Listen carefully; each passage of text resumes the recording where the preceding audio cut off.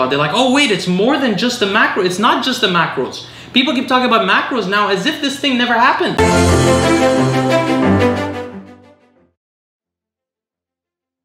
Hello friends, welcome to week 12's Q&A. Is joined by my lovely and helpful wife Lucie. Hi guys. Don't forget to subscribe to the channel if you're not already and like the video for the sake of the algorithm. Let's do the next question. Next question is by Jill.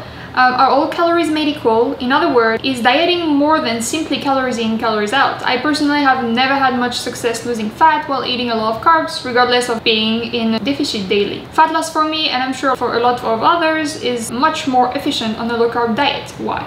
Thank you so much, Lucie. That's a great question, Jill. His name is Jill or Gil? Anyway, thank you so much. Yeah, it's fresh. So, quick answer. Definitely, uh, the calories in, calories out reductionist way of thinking about nutrition is really ridiculous. It's not correct because food is not only calories. Food is much more than calories. Food provides nutrients as well as signaling to the body. And that signaling is so critical about how you use those calories. Really, this is all a bit ridiculous. This all, in the last like 10 years or 15 years, there's this thing called IIFYM, something like if it fits your macros that grew up on the on YouTube, where people say like I can eat whatever, I can eat a cupcake or whatever as long as the macronutrients that I decided to break down my food into, meaning the carbs, protein, and fiber and, and fat, as long as it fits within that, I can do it. It doesn't matter what food I eat. This is a really crazy reductionist method. It's really insane. Now, guys, if you look back to the history, in about the 1850s or uh, later, maybe a bit later, calories were discovered and it was thought that all food did was provide calories. Shortly after that, people discovered about protein. Then, the nutritionists at the time used to say the most important thing is to eat a lot of protein and a lot of calories. So they used to look for high calorie, high protein diets. So this changed from the calorie only method to the macronutrient method. And then in the early 1900s, they discovered vitamins. And that's when micronutrients came about. They're like, oh wait, it's more than just the macro. It's not just the macros.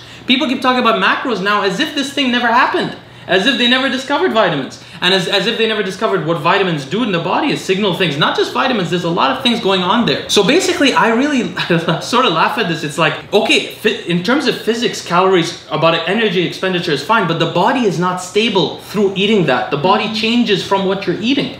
So let me give you some examples. Protein consumption raises mTOR, mechanistic target of, of rapamycin, which is the largest growth pathway in the body. It has so many downstream effects. Not only that, but so you can say protein then is different than carbs, right? So not all calories are the same because you're going to be using the calories differently. But not only that, the protein isn't all created equal. Leucine, one of the amino acids, has much greater of an effect on mTOR than other other amino acids do. Mm. Not only does leucine have a greater effect on mTOR, it turns AMP kinase off. So when you raise mTOR and turn AMP kinase off, it induces satiety. So leucine causes people to feel more full than other things. Now, in addition to that, uh, protein has a thermic effect. So when you eat protein, you burn more calories digesting it than some of the other foods. So protein is not uh, equal to another food group in terms of macronutrients. Then we could talk about carbs, for example. Carbs cause insulin release. What happens when insulin is released in the body? Leptin is released. That's the full feeling that you get released from your adipose tissue, from your fat. So carbs cause more of a leptin release. They also cause norepinephrine to be released in the body. Norepinephrine, serum norepinephrine levels, that's noradrenaline, is increased. And what do we know about noradrenaline? Well, I talk about noradrenaline a lot. You guys know about it. But the point is, it's changing your hormonal environment, what you're eating. Let's talk about fiber. So in terms of fiber, Fiber has effect on the hormones secreted by the gut, including ghrelin. That's the hunger hormone. So the more fiber you eat, the less ghrelin you have, the less hungry you are. But also fiber is generally bigger. So it stretches the gut as well as the intestines. And we know our body has stretch sensors that then tell us to be full also. So you're getting full in two ways from that. Also, fiber is correlated to having a lower chances of getting metabolic syndrome or better insulin sensitivity, meaning you will partition your foods better if you have more fiber on average. So we can see even among the, among the macronutrients, calories are not created equal. They're different, but also the micronutrients. So for example, zinc raises IGF-1 levels pretty robustly. Everybody knows about this. If your IGF-1 levels are higher, you're gonna do different things with your calories than if your IGF-1 levels are lower. Iron is tied to having NAFLD, uh, fat uh, deposits on the liver. When you have NAFLD, you partition foods worse. It's the first stage of the insulin resistance and the development of metabolic syndrome. So you, the more iron you have, hepatic iron, coming from your diet, the more likely you are to partition foods worse as well. Selenium, another mineral, also tied to metabolic syndrome. Vitamin D is also uh, vitamin D is tied uh, inversely with with metabolic syndrome. So the higher vitamin D levels are associated with better insulin sensitivity. Uh, so you can see even among the minerals and the vitamins that they have different effects on the body, how the body acts. Now, also things that you don't wouldn't they're not calories, but things that you eat. Like for example, putting red pepper on your food. Capsaicin from red pepper incre- increases the metabolism. Uh, drinking green tea or coffee right after your food will increase your metabolism, change how everything's being used. And I honestly, I don't just think it increases the metabolism. I think it changes how the calories are used as well. What else can be? Vinegar. Eating vinegar with your food increases in- insulin sensitivity. Now, this is not robust. It's not across all studies shown, but it has been shown in some studies. The vinegar. That's why I add vinegar to our salads.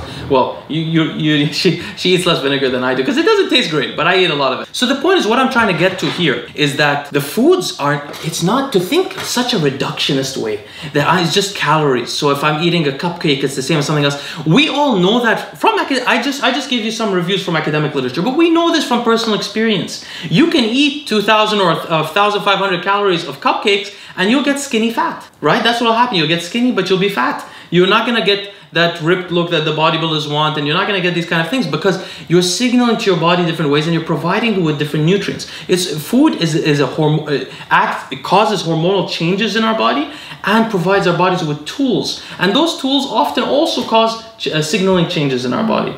So to think that uh, calories, a calorie is a calorie is a calorie, is a reductionist way of thinking that is really, uh, to be honest, a little infantile and uh, ignorant way of thinking about the body. It's assuming the body is stable and that there's nothing else in those calories, but food is much more than that, and the body's not stable. The body's changing from the food you're eating. Now, to answer his direct question, he said he finds it harder to lose fat when he's eating carbohydrates. Mm-hmm. Now, there's many reasons you could think about that, including the insulin and stuff like that. But what I would like to this is my personal experience. What I notice is that when I have, when I eat more carbohydrates, and by the way, everybody's different about this because people digest carbohydrates differently according to their genetics as well. So there's certain genes, like I showed you, you have some of the agricultural genes where I I have more hunter-gatherer genes.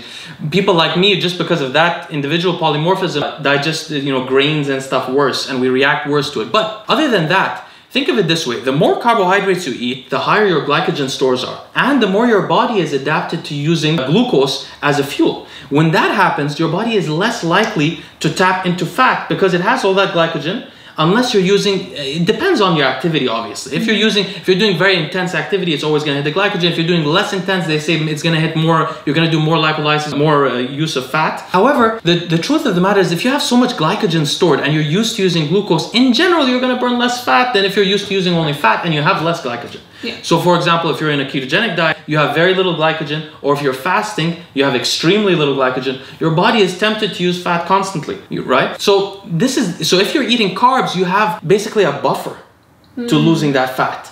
And uh, you know, there's many other reasons. The signaling, depending on your genetics, stuff like that. Most people that I know, and the satiety, obviously, it seems to be. A, even though insulin comes out and you get leptin, it seems in general people are more satiated if they're eating protein and, and fat. Which who knows? People theorize maybe because there's the ketones are actually causing a nausea in you that causes you to be less hungry, or it's the protein signaling, you know, reducing the AMP kinase and increasing the mTOR. But they all have different effects. In general, my personal experience is uh, if I'm eating carbohydrates, especially from grains, it's very difficult to lose weight. Yeah, same. Yeah, exactly. She has the same experience as well. All right, thank you for your question. A calorie is not a calorie is not a calorie. Have a great day.